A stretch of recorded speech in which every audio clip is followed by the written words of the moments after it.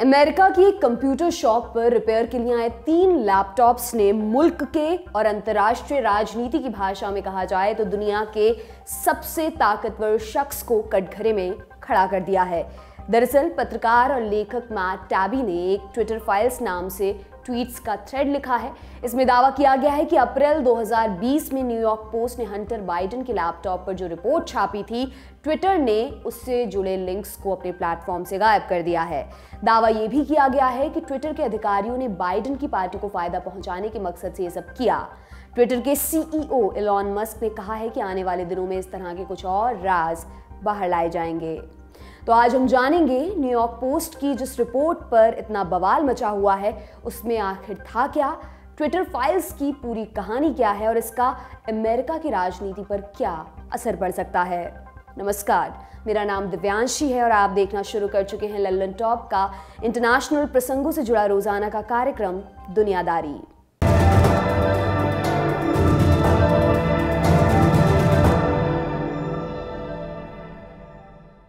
आज हम Twitter files की कहानी आपको सुनाने वाले हैं। शुरुआत करते हैं न्यूयॉर्क पोस्ट की रिपोर्ट से। 3 नवंबर 2020 को अमेरिका में राष्ट्रपति चुनाव के लिए वोटिंग की तारीख तय थी। डेमोक्रेटिक पार्टी के जो बाइडेन प्रबल दावेदार माने जा रहे थे। तत्कालीन राष्ट्रपति और रिपब्लिकन पार्टी के डोनाल्ड ट्रंप अपनी जीत का दावा कर रहे थे। बढ़ती गहमा गहमी के बीच अमेरिकी टेब्लॉइड न्यूयॉर्क पोस्ट ने एक सनसनीखेज रिपोर्ट पब्लिश की। इसमें एक लैपटॉप से मिले कुछ ईमेल्स के ज़रिए दावा किया गया था कि जो बाइडेन के बेटे हंटर बाइडेन कुछ संदिग्ध गतिविधियों में शामिल रहे हैं। दावा किया गया कि वो लैपटॉप हंटर बाइडेन का था। उसे कुछ ऐसे मेल्स ऐसी तस्वीरें और वीडियोस निकले थे जो सीधे तौर पर बाइडेन की छवि को बिगाड़ रहे थे। ट्रंप की टीम ने इसका बखूबी इस्तेमाल किया। उन्होंने बाइडन को भ्रष्ट अयाश और पद का बेजा इस्तेमाल करने वाला साबित करने की पूरी कोशिश की, लेकिन उन्हें इस कैंपेन का मनचाहा नतीजा नहीं मिला।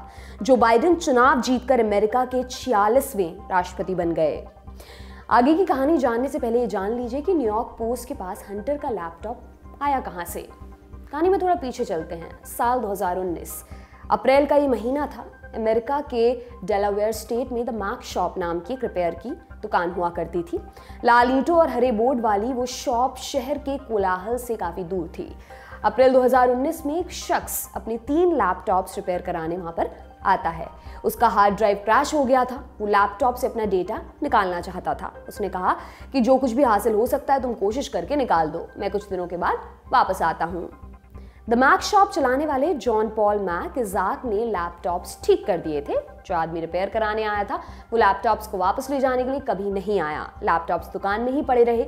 इजाक को कभी भी रिपेयर के पैसे नहीं मिले, लेकिन डेटा निकालने के दौरान उसको कुछ चौंकाने वाली तस्वीरें वीडियोज़ और ईमेल्स मिल गए। सारा डेटा जो बाइडन के बेटे हंटर से जुड़ा हुआ था। किसी तस्वीर में हंटर नशा करता तो किसी में अलग अलग लड़कियों के साथ हम बिस्तर होते दिखाई दे रहा था। इसके अलावा ईमेल्स में कुछ बिज़नेस डील्स की भी चर्चा थी। इजाक ने बाद में बताया कि उसे लैपटॉप्स के असली मालिक के बारे में नहीं पता था। उसे ये भी नहीं पता कि रिपेयर कराने कौन आया था। उसने बस अंदाजे से कह दिया कि वो शख्स हंटर ही था। उसके दावे का आधार लैपटॉप पर लगा। ब्यू बाइडन फाउंडेशन का स्टिकर था। ये फाउंडेशन हंटर के बड़े भाई की याद में शुरू किया गया था। बीयू की 2015 में ब्रेन कैंसर से मृत्यु हो गई थी। बीयू ने इराक वॉर में मेजर के तौर पर ड्यूटी भी की। खैर रजाक ने द डेली बीस से बात करते हुए कुछ दावे किए। उसने कहा, मेरे पास कुछ ऐसा सामान था जिसे मैं जल्द से जल्द अपनी दुकान से बाहर निकालना चाहता था। जब मुझे पता चला कि पूरा डेटा जो बाइडन के बेटे का है, तब मैं बहुत ज़्यादा डर गया। जाक ने यह भी कहा कि मैंने तीनों लैपटॉप्स पहले एफबीआई और फिर रूडी गुलियानी के वकील रॉबर्ट कॉस्टेलो के हवाले कर दिए। बाद में उसने अपनी बात बदल ली। उसने कहा कि मैं एफबीआई के पास नहीं गया था, बल्कि एफबीआई मेरे पास आई थी। इजाक लैपटॉप लेकर गुलियानी के वकील के पास कैसे पहुँचा? इसको लेकर कभी भी पुख्ता जानकारी बाहर नहीं आ सकी। जाक ने लैपटॉप्स एफबीआई और गुलियानी को देने से पहले एक और काम किया था। उसने सारे डेटा की कॉपी बना ली थी। उसका कहना था कि मुझे हत्या का डर सता रहा था, इसी वजह से मैंने सेफ्टी के लिए ये कॉपी बनाई थी। फिर आया सितंबर 2020 डोनाल्ड ट्रंप के एक सलाहकार स्टीव बैनन ने न्यूयॉर्क पोस्ट को इस डेटा के बारे में बताया। अक्टूबर 2020 में ट्रंप के वकील रूडी गुलियानी ने पूरी हार्ड ड्राइव अखबार को सौंप दी। इसी के आधार पर न्यूयॉर्क पोस्ट ने 14 अक्टूबर को रिपोर्ट पब्लिश कर दी। रिपोर्ट में क्या कुछ था, ये भी आपको बताते हैं। लैपटॉप से मिले डेटा में एक लाख से अधिक ईमेल्स थे। एक ईमेल में यूक्रेन की एनर्जी कंपनी बुरिस्मा होल्डिंग्स के सलाहकार वादिम पोजरेस्की ने हंटर को थैंक यू भेजा था। रिपोर्ट के अनुसार ये थैंक यू वादिम को जो बाइडन से मिलवाने के लिए भेजा गया था। जो बाइडन उस समय अमेरिका के उपराष्ट्रपति हुआ करते थे और हंटर बाइडन बुरिस्मा के बोर्ड में शामिल था। जो बाइडन की कैंपेन टीम और हंटर बाइडन के वकील ने एक सुर में कहा कि ऐसी कोई मीटिंग कभी हुई ही नहीं थी। रिपोर्ट में एक और दावा किया गया था। कहा गया कि वादन के मेल के आठ महीने बाद जो बाइडन ने यूक्रेन के तत्कालीन राष्ट्रपति और प्रधानमंत्री पर दबाव डाला था, उन्होंने धमकी दी कि अगर प्रोसिक्यूटर जनरल विक्टर शॉकिन को नहीं हटाया गया तो यूक्रेन को मिलने वाला कर्ज रोक देंगे। मार्च 2016 में शौकिन को पद से बर्खास्त कर दिया गया। उस समय शौकिन ने कहा था कि वो बुरिस्मा होल्डिंग्स के बोर्ड मेंबर्स की जाँच करने वाले थे। इस जाँच की आँच हंटर बाइडन तक भी पहुँचने वाली थी। जो बाइडन का कहना था कि शौकिन को भ्रष्टाचार के आरोप में हटाया गया, जबकि बाइडन के विरोधियों का यह आरोप था कि बेटे को फ़ायदा पहुँचाने के लिए जो बाइडन ने पद का गलत इस्तेमाल किया। इसके अलावा भी ईमेल्स के ज़रिए हंटर बाइडन और जो बाइडन पर कई आरोप लगाए गए थे, लेकिन मुख्य आरोप पद के बेजा इस्तेमाल का था। New York Times CBS News Washington Post समेत कई अखबारों ने लैपटॉप से मिले डेटा की स्वतंत्र जाँच कराई। उन्होंने फोरेंसिक जाँच के बाद दावा किया कि लैपटॉप्स हंटर बाइडन के ही थे और ईमेल्स भी उन्हीं से जुड़े हुए थे, लेकिन अभी तक ये पुष्टि नहीं हो सकी है कि क्या हंटर बाइडन ने कोई गैर कानूनी काम किया। अब इस पर सवाल ये उठता है कि दो साल बाद ये मामला फिर से चर्चा में क्यों है?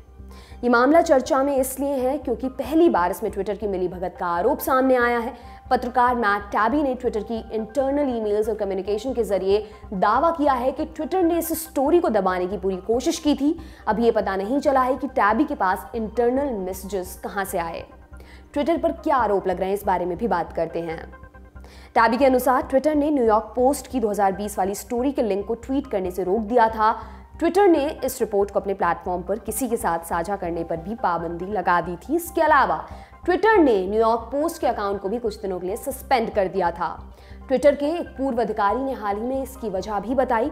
उन्होंने एक इंटरव्यू में कहा कि ट्विटर के अधिकारियों को इस रिपोर्ट पर भरोसा नहीं था।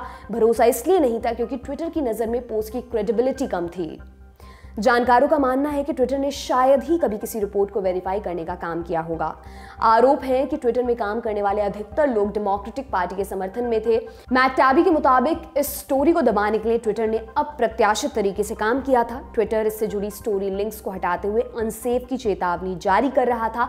इसके अलावा डायरेक्ट मैसेज के ऑप्शन को भी ब्लॉक कर दिया गया था। इस टूल का इस्तेमाल चाइल्ड पोर्नोग्राफी जैसे मामलों में होता है। इस स्टोरी के बारे में ट्वीट करने पर व्हाइट हाउस की तत्कालीन प्रवक्ता काल्हे मैकेनी के अकाउंट को लॉक कर दिया गया था। टैबी ने लिखा कि यह फैसला कंपनी के उच्च अधिकारियों के स्तर पर लिया गया था, लेकिन तत्कालीन सीईओ जैक डोसी को इसकी जानकारी नहीं थी। हालाँकि इसमें ट्विटर की तत्कालीन law and policy head Vijaya Gadde ज़रूर शामिल थी। ट्विटर के इस फैसले को लेकर कंपनी के भीतर भी कई कर्मचारियों ने सवाल उठाया था। जैक डोरसी ने स्टोरी छपने के अगले दिन, यानी कि 15 अक्टूबर को, एक ट्वीट कर ब्लॉक किए जाने को लेकर कहा था कि है अस्वीकार्य है। उन्होंने ट्वीट किया था न्यूयॉर्क पोस्ट की स्टोरी पर हुई कार्रवाई को लेकर हमारे बीच कम्युनिकेशन सही नहीं था। ट्वीट या डायरेक्ट मैसेज के ज़रिए यूआरएल को बिना कारण बताए ब्लॉक करना अस्वीकार्य है। इस सेंसरशिप को लेकर तब न्यूयॉर्क पोस्ट ने भी अपने संपादकीय में ट्विटर फेसबुक और दूसरी कंपनियों पर सवाल उठाया था। न्यूयॉर्क पोस्ट ने इसे स्वस्थ लोकतंत्र पर खुला हमला बताया था। ये पूरा मामला दो बरसों तक दबा रहा।